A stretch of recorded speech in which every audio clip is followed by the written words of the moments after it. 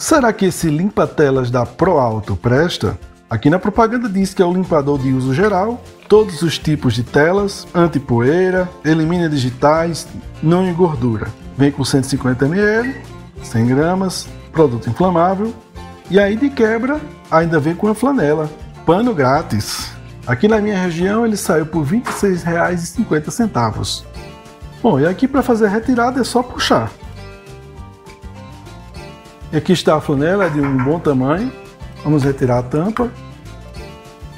Aqui as letras do modo de usar são bem pequenas, mas eu anotei e vou fazer a leitura para vocês. Modo de usar.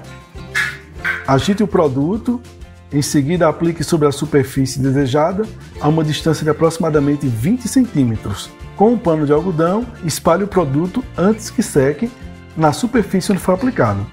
Se a aplicação se der em eletrônicos, desligue-os antes de aplicar o produto e pulverize o produto no pano, ou seja, não no objeto, mas diretamente no pano, se for eletrônico, para então aplicar na superfície desejada. Sempre faça o teste em pequenas áreas antes de uma ampla aplicação.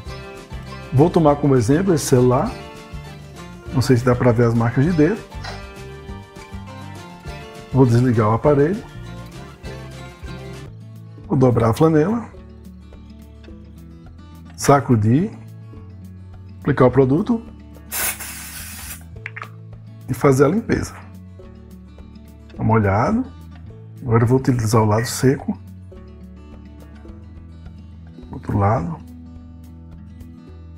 Sim, está limpo. Não sei se você consegue perceber pelo vídeo, mas fez o trabalho. Não tem cheiro de álcool, é um cheiro totalmente diferente, não sei dizer, é um produto diferente do, do, do álcool. Lauril éter sulfato de sódio, solvente, veículo e propelente. Essa é a composição do produto.